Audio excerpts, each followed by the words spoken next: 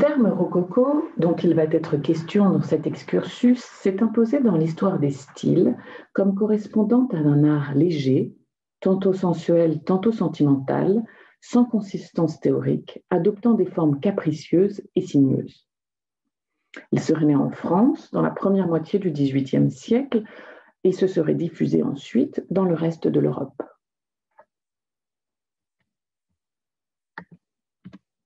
Les artistes peintres cités le plus souvent pour illustrer la catégorie stylistique sont Antoine Watteau, François Boucher,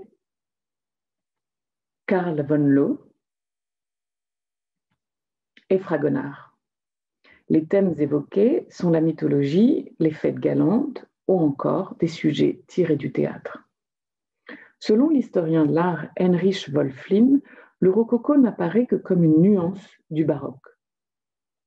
Au contraire, depuis les années 1950, d'autres ont considéré le rococo comme une catégorie de style autonome. Dans un livre intitulé The Creation of the Rococo, publié en 1943, Fils Kimball fait remonter l'origine du phénomène au XVIIe siècle et plus particulièrement à l'agence de Jules Ardois-Mansart. Plusieurs auteurs ont vu dans le style une incarnation par excellence de l'esprit du temps. Il s'agit là d'un postulat essentialiste consistant à penser que chaque période serait réductible à son essence.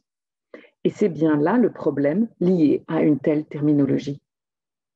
Comme d'autres termes tels que gothique, maniérisme ou encore baroque, le mot rococo dans son acception primitive est péjoratif et qualifiait le mauvais goût d'une époque passée.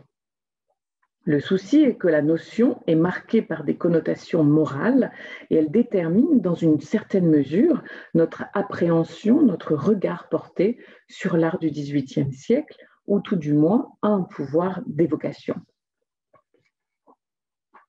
Mais revenons, mais reprenons l'histoire dès le début. Le mot rococo était utilisé au départ dans le jargon des artistes et avait plusieurs sens. Il servait à décrire ce qui était jugé grotesque, absurde et de mauvais goût. Ensuite, le terme prend une connotation sémantique un peu différente.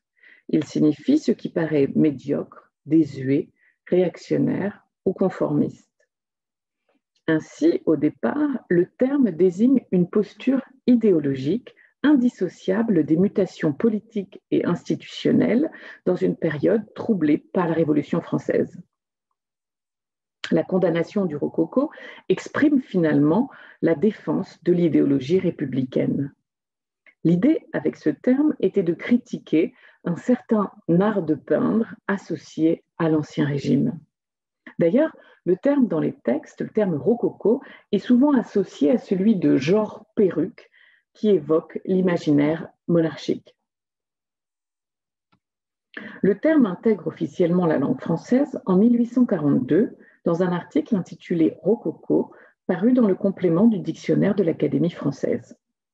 Je cite Il se dit trivialement du genre d'ornement, de style et de dessin qui appartient à l'école du règne de Louis XV et du commencement de Louis XVI. Le genre rococo a suivi et précédé le Pompadour qui lui-même n'est qu'une nuance du rococo. Il devient alors une catégorie stylistique neutre en apparence, associée aux formes des œuvres produites sous les règnes de Louis XV et Louis XVI. Comme on peut le voir dans cet article, dès le départ, le terme gagne le vocabulaire des arts décoratifs. On va parler de mobilier rococo. Et c'est ce type de mobilier qu'on peut voir apparaître, par exemple, dans ce portrait en pied de Madame de Pompadour, peint en 1755 par Maurice Quentin de la Tour. L'historiographie tend aujourd'hui à préférer l'utilisation du terme rocaille, terme utilisé dès le XVIIIe siècle pour désigner un type de décoration alors à la mode. Au départ, une rocaille désigne les petits cailloux et coquillages mousse servant à décorer une grotte dans les jardins. On parle ainsi d'ornement rocaille pour qualifier les décorations mouvementées composées de courbes et de contre-courbes, agrémentées de coquillages, roches ou végétaux, comme c'est ici le cas dans ce décor, cette boiserie euh, conçue pour euh, le salon, un salon du Palais Rouen à Strasbourg. En France, des artistes comme Gilles-Marie Oppenor, Jules Aurel Messonnier ou Nicolas Pinault utilisent ces motifs rocailles dans leur décoration. Ils l'utilisent pour orner chenets, vases, services de porcelaine, lambris et trumeaux, mais aussi cheminées, comme c'est ici le cas euh, à l'image. Ensuite, le goût va se diffuser à l'étranger et je vous présente ici un exemple d'un décor conçu pour la salle de musique du château de Sans Souci à Potsdam, décor réalisé vers 1745. À partir des années 1750, ces ornements font l'objet de débats.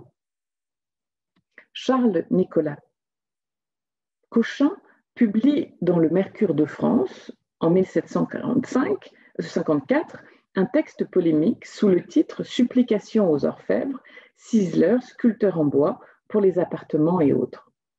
Il y attaque l'exubérance ornementale de la décoration alors à la mode, caractérisée par l'emploi des lignes ondulantes, des courbes et contre-courbes de la rocaille, comme nous l'avons vu tout à l'heure. Il dit Abattez tous ces herbages, îles de chauves-souris et autres misères tortues, retrouver le nu de la moulure. L'auteur affirme plus loin qu'un chandelier doit être droit et perpendiculaire pour porter la lumière et qu'une bobèche doit être concave pour recevoir la cire qui coule et non pas convexe pour la faire tomber en nappe sur le chandelier. Pour conclure, l'idée n'est pas de proscrire complètement le mot rococo, mais plutôt de prendre en compte qu'il est héritier d'un terme à connotation idéologique, péjorative, jusqu'à devenir une notion vague et simplificatrice, peu utile pour analyser la complexité d'une époque.